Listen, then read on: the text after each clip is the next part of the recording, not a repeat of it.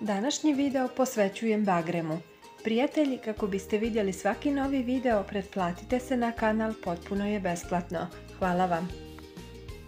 Bagrem cvjeta od aprila do kraja maja, pa čak i juna. Cvijet treba da se bere neposredno prije otvaranja, a list dok je još mlad. Bagremov cvijet sadrži vitamin C, eterično ulje, šećer, smolu, tanine, dok su sjemenke bogate proteinima, ugljenim hidratima, vitaminima A, B1, B2, B6, C kao i magnezijumom, cinkom, gvožđem i fosforom.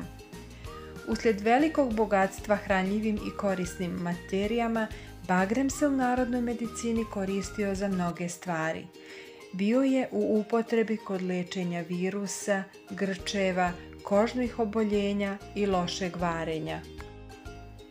Čaj od bagrema odlično suzbija reumatske bolove i zubobolju, smanjuje povećano lučenje kiseline, pomaže kod migrene, efikasno djeluje kod gastritisa i gorušice, odličan je protiv čira na želucu i 12-palačnom crijevu.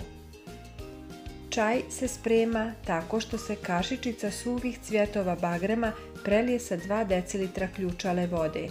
Poklopi se i ostavi da odstoji pola sata, a zatim se procjedi i pije 1 do 3 šoljice dnevno. Odličan je u liječenju pojačane kiselosti želuca, kod žgaravice koja se javlja za vrijeme spavanja, migrene kao i upale nerva lica. Narodna medicina koristi ga za liječenje grčeva, kožnih bolesti, tegoba pri varenju, čišćenja crijeva, za smanjenje visoke temperature te za bolje lučenje mokraće. Prijatelji, podijelite ovaj koristan sadržaj i sa vašim prijateljima na društvenim mrežama. Želim vam dobro zdravlje.